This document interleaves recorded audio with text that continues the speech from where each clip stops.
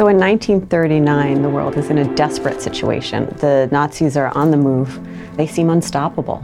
The Germans attacked Poland, Netherlands, Belgium, and the French. They were ruthless. They demonstrated their ruthlessness. They seem capable and willing to execute a war of total domination. And the United States is watching very carefully what's happening. They understood what Hitler was capable of doing. So, right about this time, you have the advancement of nuclear science and physics. Everybody is on the cusp of controlling uh, nuclear energy. Several German physicists actually first demonstrated the ability to split the atom. People like Albert Einstein, people like Enrico Fermi, Leo Szilard realized right away the potential of what that discovery could mean.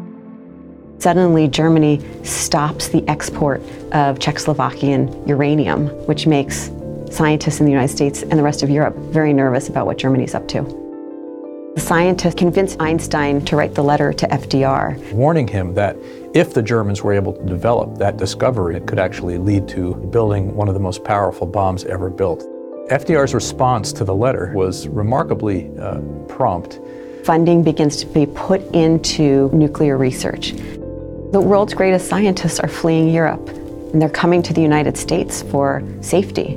And then as the Manhattan Project becomes established, they come to the University of Chicago and they begin to build the pile under Stagg Field. There was a squash court. It was a heady environment. You had the world's best physicists about to unleash nuclear power. They're also thinking about the implications of what it will mean being used for the destruction of humanity and not for peaceful purposes. The pace was fast. They were working against the Germans. They literally believed it was hour by hour, day by day. They might be behind. They didn't work 40 hour weeks. They worked two 12 hour shifts every day. This was going on 24 7 for two weeks. They understood what was at stake. They understood that civilization in the Western world was at stake.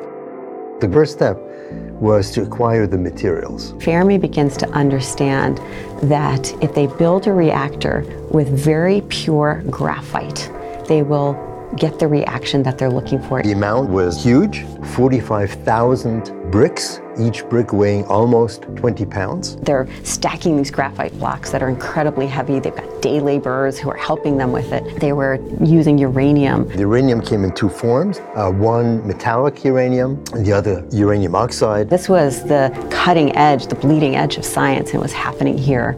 What is really quite amazing is the short duration during which the pile was actually assembled. It was a matter of days where they built that reactor. 15 days specifically. The group felt the weight of the country, if not the world, on their shoulders. The politicians, FDR included, really did not understand the, the nature of the beast that they were funding. Those in the room understood that they were on the cusp of a revolutionary change in energy. They had just finished building Chicago Pile 1 the day before, literally December 1st, 1942, and Enrico Fermi declared next morning they would start the actual experiment. On December 2nd, 1942, Fermi and his team were able to control and sustain a nuclear chain reaction. A monumental physics achievement. It would not be too much to say this was almost as important as the discovery of fire. It actually wasn't clear what it meant. They didn't know if they'd be able to weaponize it. And they didn't know if the Germans had already weaponized it. But the fact that they could control the chain reaction meant it was possible. Arthur Holly Compton really drove it as the lead scientist. He didn't do it alone, he did it with dozens and dozens of scientists, and they built, as Einstein would say, on the shoulders of giants.